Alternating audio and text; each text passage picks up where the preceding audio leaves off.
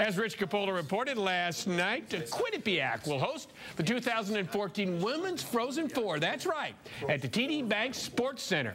Quinnipiac becomes the first ECAC hockey program to host the Women's Frozen Four on campus since 2001. So I think this is another great statement for Quinnipiac's growth as a, as a university, as a Division One university, as an athletic department, as a women's ice hockey program. So this is another huge statement for Quinnipiac. How does this affect the conference?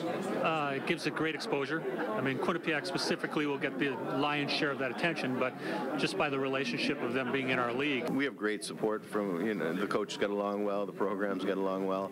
Uh, so I think they're going to look at this as a great uh, feather for uh, the conference as a whole and, and open doors, more doors for recruiting.